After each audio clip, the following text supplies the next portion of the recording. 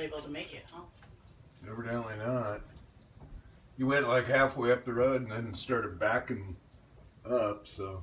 Wow. Guess they're not coming home, huh?